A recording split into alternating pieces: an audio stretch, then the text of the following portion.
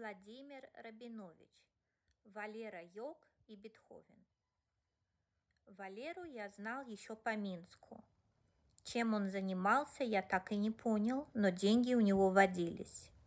Имея незаконченное высшее образование, Валера работал дворником, практиковал йогу и поражал жителей знаменитого доллара тем, что зимой выходил убирать снег босиком. Любил пройтись по городу, оставляя за собой следы снежного человека. Я спрашиваю Валеры, почему ты это делаешь? Он отвечал в знак протеста. В Минске он так и не был понят. Несколько раз задерживался милицией, был оскорбляем женщинами среднего возраста и ветерами Великой Отечественной войны, подвергался нападениям и вынужден был убегать. Состоял на учете в психоневрологическом диспансере имени Бехтерева.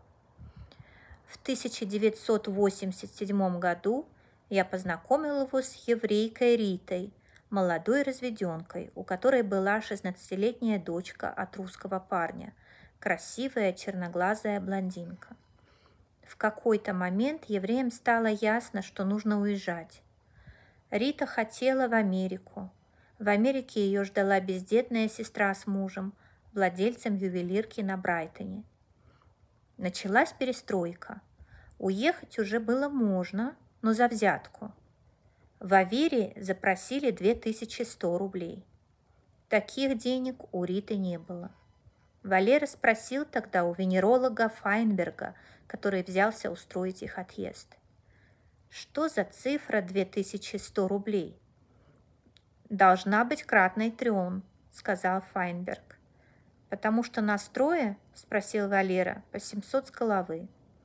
Головы здесь ни при чем – сказал поморщившись Файнберг. «За кого ты их принимаешь?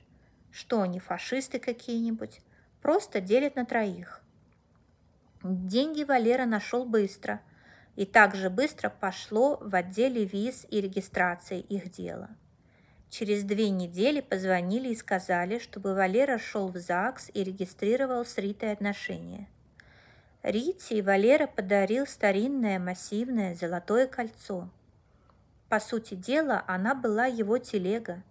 Такая услуга стоила больше. Надел кольцо на фиктивной свадьбе Рите на палец, поцеловал в губы, да и остался ночевать. Уже через месяц Валера ходил по зимней весне, по зимней вене босиком. Был конец декабря, шел снег, город украсился в ожидании Крисмоса. Валера предложил мне сходить на кладбище с целью посещения могилы композитора Бетховена.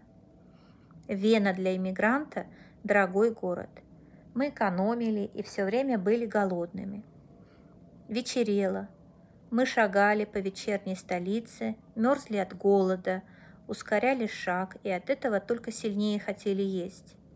Наконец я не выдержал и сказал, «Давай купим пирожок с повидлом, один на двоих». Я свою часть горячего пирожка съел по-зэковски быстро. Немного согрелся, повеселел от сладкого. Я был добротно из чекового магазина одет во все зимнее.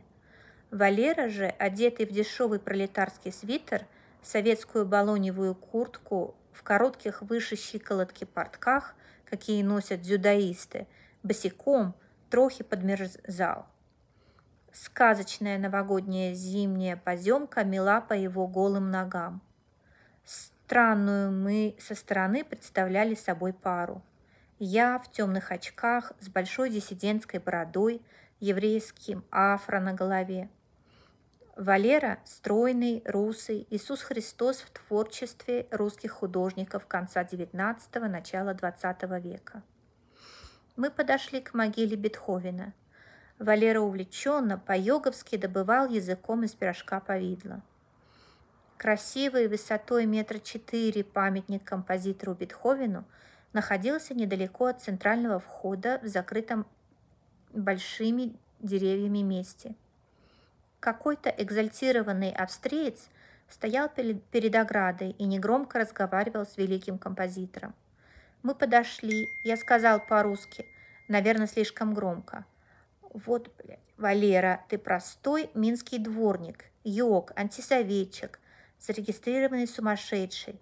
Стоишь перед могилой Бетховена. Валера и Бетховен, как это может быть? Австриец повернулся к нам, воскликнул что-то и снял с себя хорошие теплые ботинки и потребовал, чтобы Валера их надел. Валеру спасло только то, что не совпадали размеры. У австрийца был 42-й, а у Валеры его страшные оранжевые ступни были не меньше 47-го размера.